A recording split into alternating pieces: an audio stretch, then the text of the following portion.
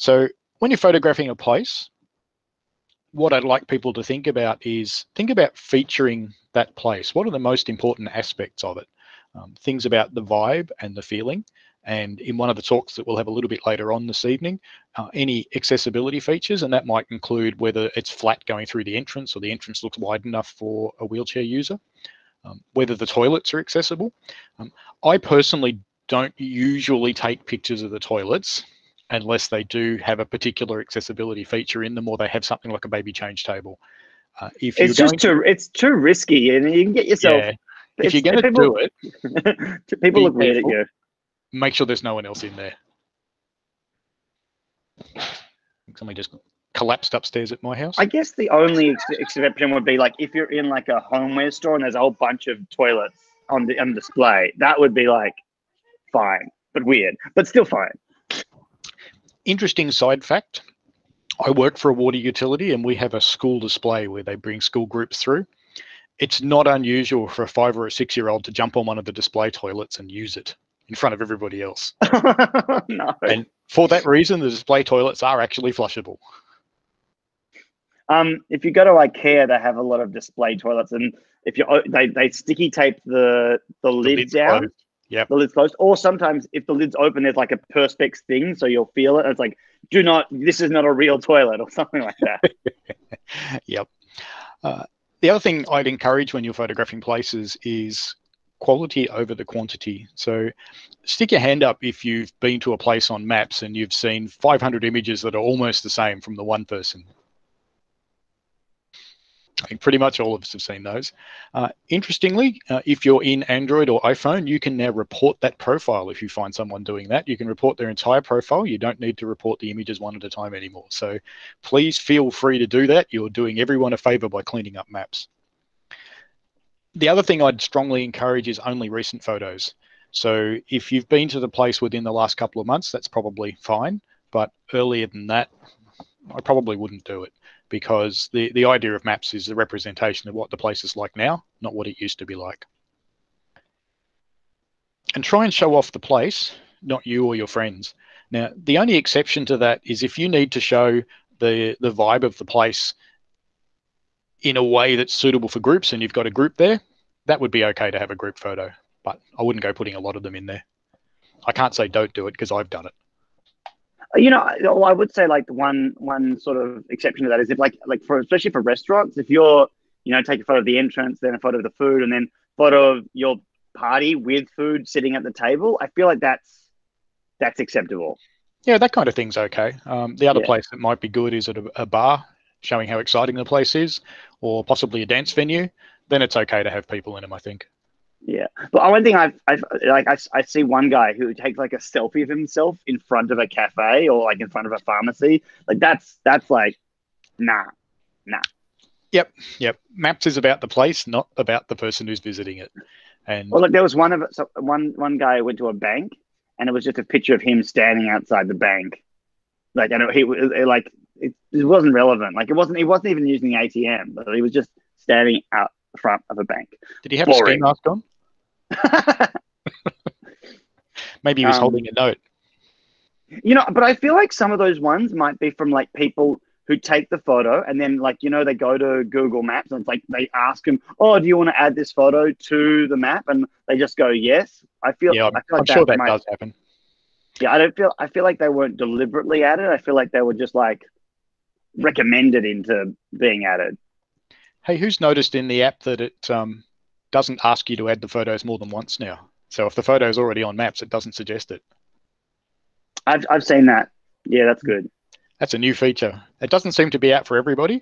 Um, interestingly, I'm in two different maps programs, and in the public one, it's there, and the other one, it's not, which is a bit weird, but that's okay. What do you mean? You, what do you mean you're in two maps programs? Just two maps programs, Max. We'll just leave it there. Okay. Um, now, remember your photo rules or suggestions and try and make sure the shots are cool and good. Um, now, I do encourage people to be careful because contributing to maps is not really about points. I know you get them and I know they're fun. We all want them, I'm at a level 10. I want points. But um, it's not about all those points. Now, product wise, it's good to highlight what a business sells or the features of a place and try and make the stuff look interesting. Max has found something else to show us.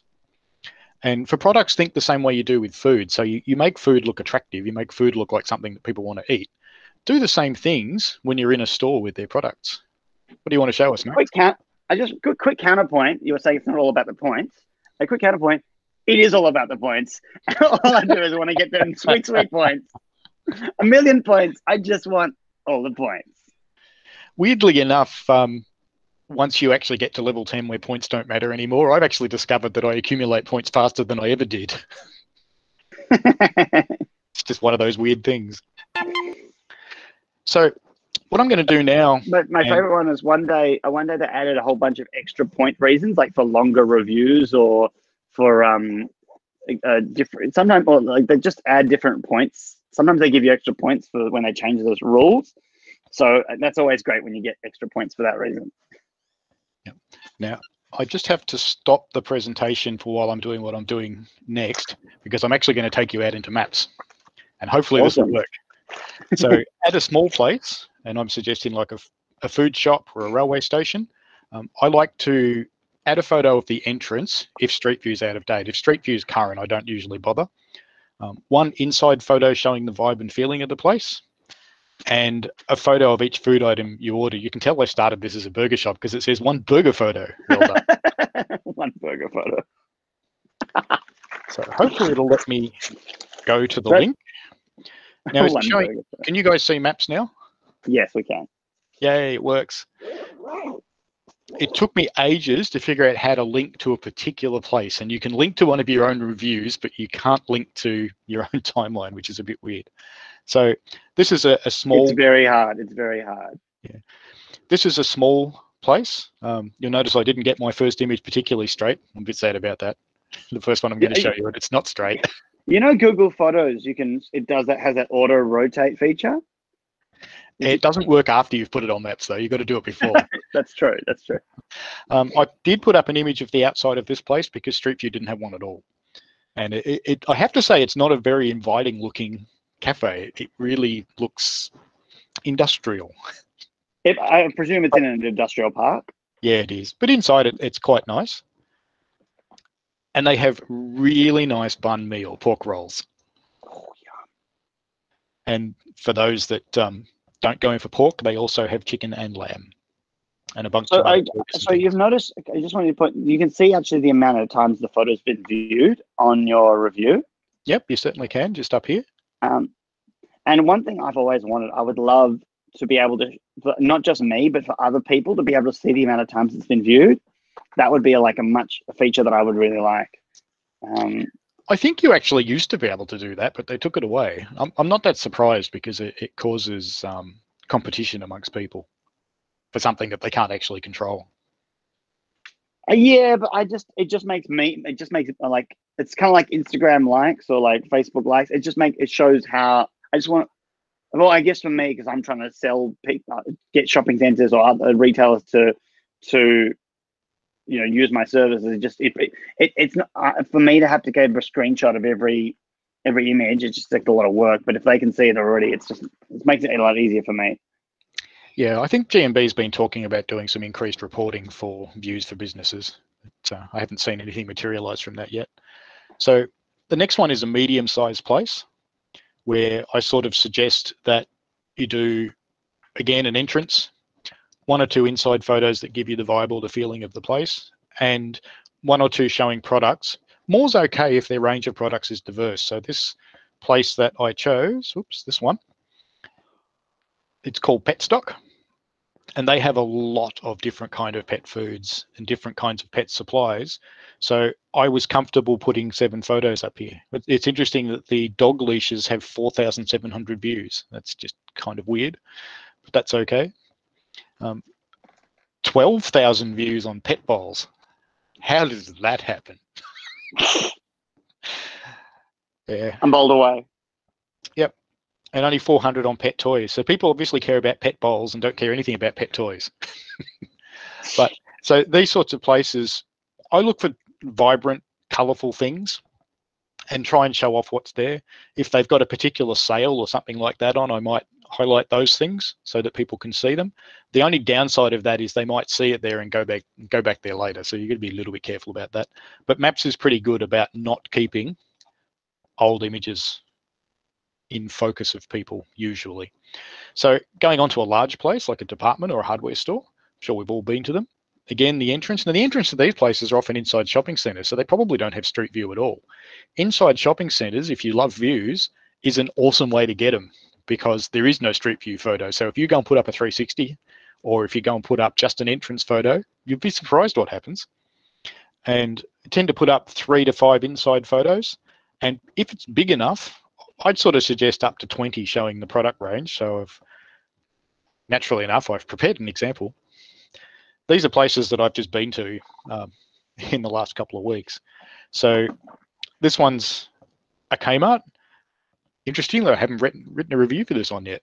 Must do that. Uh, so I, I've just put up some of their wares. I've tried to keep in mind to keep the photos looking interesting. So finding interesting shapes, interesting colors, interesting pandas. now, I'd have to say pandas aren't popular because, you know, only 45 views. Fry pans have got 1,400 views.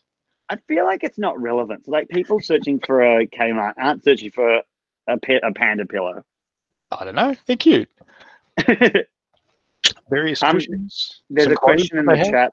There's a question in the chat that I'm just going to read out for you, which is Thank at you. Paul. My question is: When you post a photo on Maps Review, do you edit or do you just post as you as you go? Do edited photos give more views or not edited photos? I don't think it makes any difference.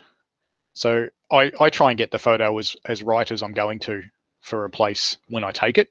Uh, if you need to edit it to improve the light or improve the color a bit, something like that, or maybe fix the not straight one that I put up there before, that would probably be a good thing for me to do. Uh, then yeah, you can certainly can edit them before you upload them. If you do I, edit it, one thing to be gonna, careful was, of though. I was going to say is I was going to say so I I you know because we don't we don't get paid to upload photos. We don't get paid for these photos, but you know often I just go into Google Photos and I go to the auto setting, so it just automatically makes uses a recommendation to make it usually a bit more brighter and colorful, and then I just save that and then I upload that one. I just use auto edit. Yep. One thing I would be careful of the new feature that helps with uh, preventing you from uploading duplicates unintentionally will see the original photo and the edited photo as different photos, and it might prompt you to upload both. So just be careful of that. And Andy, mm. you, you know well the answer to that question. Yes, I have. I'm pretty sure you were there. Ananda, can you tell us that story? You have to unmute Ananda. No, I uh, can't remember the one with Paul, but um, um, shopping Melbourne mall. Central. Sorry, Melbourne Central. Melbourne Central. Oh, yeah. Yeah. Some of the shops are very, very um, controlling on how their brand is represented, and this was a, a shop that was selling um, towels and things like that. And the, the the colors in their shelves and the way they had everything rolled and stacked just looked nice. So I took a picture of it, and they weren't very happy that I took a picture of it. Yeah, but we get we get things like in the burbs, we get things like uh, Knox City, uh, which is is a very large uh, dispersed mall, and uh, the the security guards uh, hassle people because their kids playing and stuff like that. Yeah. Well. Now, before you head in there, if you're going into a mall in particular, um, get online, go to their website, and check what their photography policy is, because I can just about guarantee you they've got one. So if you know what their photography policy is before the security guard fronts up to you, and you can say, I'm sorry, mate, but this is allowed. Here, look on my phone. This is your website. It says I can do this. Then uh, you're, you're fine. Now, some of them do actually say you can't take photos. And in those places, I do recommend as a local guide that you don't. But if you do want to do it, using your phone is a lot less conspicuous than using a, a normal camera. It will attract a lot. Or a 360 camera. Yeah, that's true. um, I, I, so what we uh, Paul and I were on a photo walk, and we went to a restaurant, and they asked us not to take photos, and I was like, "Man, you're missing out. We're on a photo walk." yeah, it's worth trying to explain to them, but you know, some places don't want to do it. And there's a, a place in Melbourne, it's a juice bar. Um, they absolutely hate it when you take their picture, so I sort of take that as a personal challenge, but not in a local guide's capacity. um, so public places, same deal, entrance. Now, parking can be good for a public place if it's a, a, thing like a park, because that can be important for people who have got young kids and they want to know is there somewhere I can get out of my car safely? Are the spots big enough to get a pram out? Um, if, the person needs has has accessibility needs, they want to know if there's enough room to get their chair out or whatever other machines they need to use in these places, I tend to suggest one photo for each major feature, and that might be a playground or some barbecues, tables, drinking fountains. Um, I particularly highlight a drinking fountain if it's got a way to fill up a water bottle, so filling up your bottle, or if it's got a way to fill up a dog bowl or it's got a built-in dog bowl, they're pretty handy. And one for each activity area in the place, so things like sports grounds. So this one is Mornington Park, which is relatively near to where I live you can probably tell where I live. It's where the fox is. Um, just got someone else coming in. We, we've got some different things there. The entrance. We've got some picnic tables. There's quite a lot of them in this park. Layout of the park. That there's some barbecues and things like that an adventure playground, which at the time was covered in safety tape because of COVID. It's open again now. The kids are allowed to play again. Boo, COVID. Boo, shitty virus. uh, I'm sure we'll all have it sooner or later, and then it'll be fine. and if it's an enormous place, now this is something like a, a national park, a theme park, a museum, then I think plenty of photos is okay for a place like this. I think it's actually quite okay to go a bit crazy at a really big place because they have so many features to show off. And at the bigger places, I'll give you a look at something like Disneyland, they're getting in the vicinity of 10,000 photos a day posted to Google Maps if you have a look at the counts. If you want your photos to be seen, you're going to have to put up a lot. There's no way around that. so in, in this sort of place, and concentrate on important things like accessibility features in the place and, and entertainment. So, on this one is the Royal Victorian Gar- Royal Victorian Botanic Gardens in Melbourne. We did our um, first post-COVID photo walk there just last week, which was kind of cool.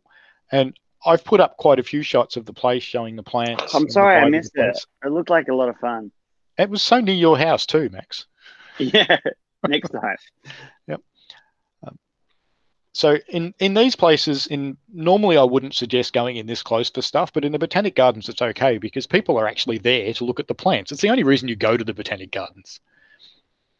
Apart from the fact it's just a nice place to have a picnic. So concentrating on plants and the ponds and things like that, perfectly okay in this sort of place because it really gives people the idea of what the vibe is like. Um, it also gives photographers an idea of what they can go there and look at and what they can see. which would be all kind of cool.